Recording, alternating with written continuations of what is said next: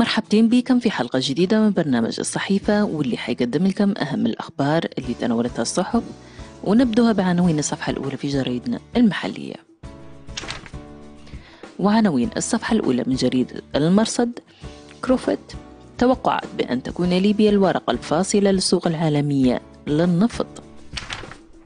الكتيبة 21 بمساندة الكتيبة 309 يحبطون محاولة التفاف للتنظيمات الإرهابية بالمحور الغربي لمدينة بنغازي.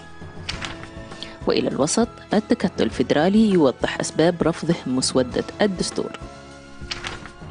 المستقبل واشنطن تدعو مصر والإمارات وإيطاليا للتشاور حول ليبيا. ختام مع المستقبل قرب نهاية قصة داعش مع النفط الليبي.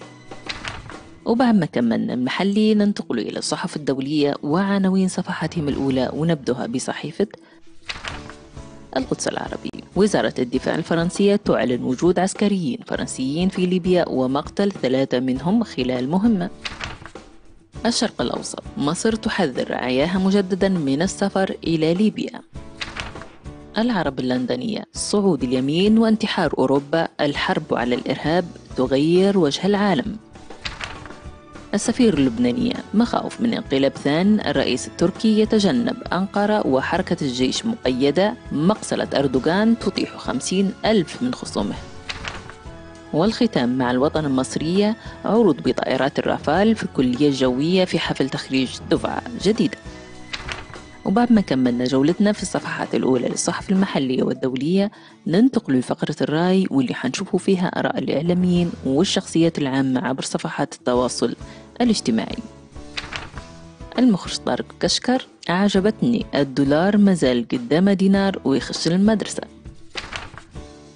الأكاديمية دكتورة أمال العبيدي ترد على الدكتور يونس فنوش عبر صفحتها الشخصية بقولها المحترم دكتور يونس فنوش أسعد الله يومك أحييك في هذا الصباح وأشير إلى أنني في هذه اللحظة أحتسي قهوة الصباح مع الوالد سليمان محمود العبيدي في بيتنا المتواضع في طبرق الذي زرتنا فيه مرارا. كما أنني أنفي كل ما ورد من أخبار تنقلتها بعض المواقع وبعض القنوات من حضوره لاجتماع تونس أجدد نفي لأي أخبار تم تناولها بخصوص ترقيته من قبل المجلس الرئاسي أو الوثائق الأخرى التي تبدو أنها مزورة وزج ضج فيها باسم بعض الشرفاء ومن بينهم السيد الوالد التمس لحضرتك العذر ولك خالص التقدير والاحترام.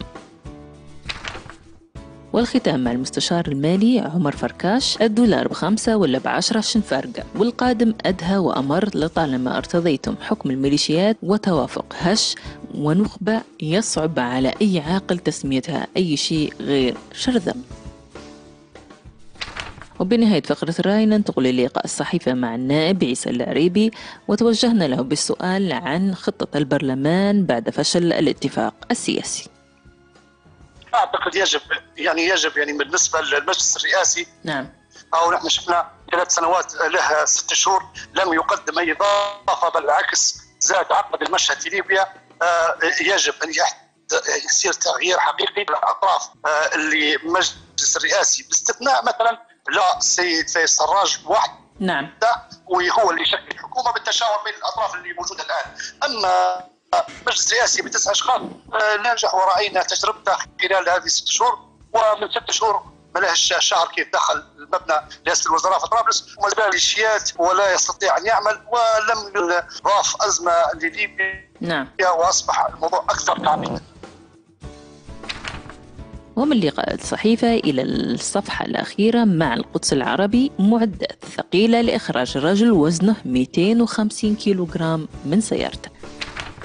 اضطرت الشرطة ورجال الإطفاء إلى الاستعانة بمعدات ثقيلة لإخراج رجل وزنه 250 كيلوغرام من سيارته بعد أن علق بها وقامت قوات الإنقاذ بإزالة سقف سيارة النقل الصغيرة بالكامل عبر أدوات إنقاذ هيدرولوكية. وقال متحدث باسم الشرطة لم تكن هناك طريقة أخرى لإخراج الرجل من العربة. وكان الرجل 60 عام نائم على مقعد المجاور لمقعد القيادة بعد إيقاف سيارته في إحدى ساحات الانتظار في مدينة يوهانسكورتس الألمانية إلا أنه انزلق على أرضية السيارة ولم يتمكن من إخراج نفسه ولم تتمكن قوات الإطفاء. في أول الأمر من إخراج الرجل من السيارة بالطرق العادية وبسبب خوف من إصابة الرجل بالجفاف لم يجد المنقذون طريقة أخرى سوى إزالة سقف السيارة لإخراجه. واستمرت عملية الإنقاذ حوالي أربع ساعات وتم نقل الرجل إلى مستشفى لتلقي العلاج.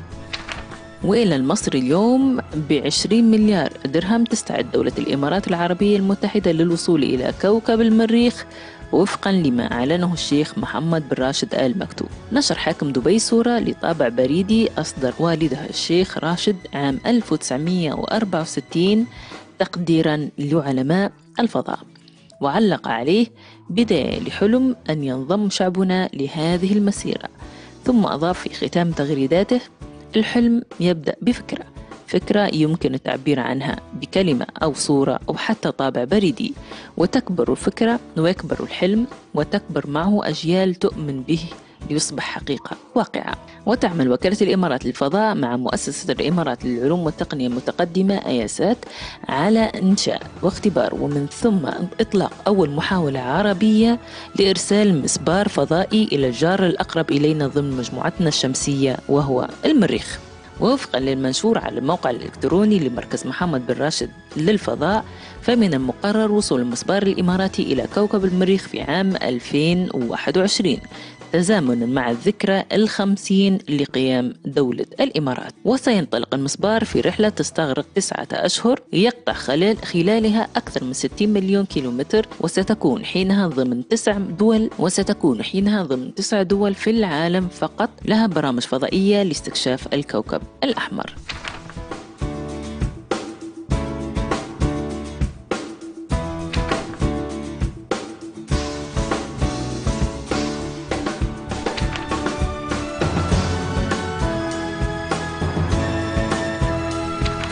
ومع كاركتير الصحف العربية نكون وصلنا لنهاية البرنامج وفي الختام صحيفتنا معاكم لحظة بلحظة.